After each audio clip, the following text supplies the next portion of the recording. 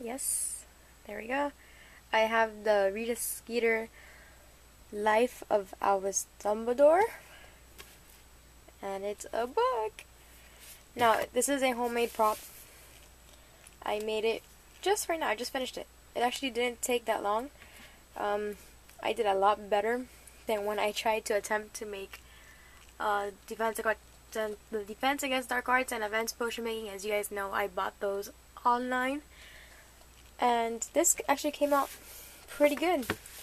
It's I still have a few more places to stick together, but it is a again another book that I just this is actually one of my college books from last semester that I used, but it looks really good.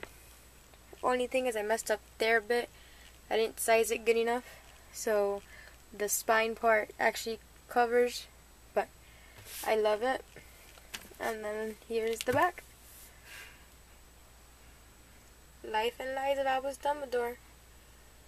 I actually got really happy when I saw that somebody had posted this on on the RPF, RPF forums that Evil Tig posted about in his video.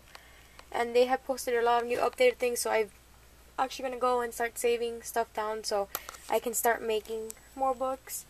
Um, I actually have a bunch of old school textbooks there that I think I'm going to use to make more prop books. But, yeah. Let me know what you guys think about my homemade prop. Thanks for watching.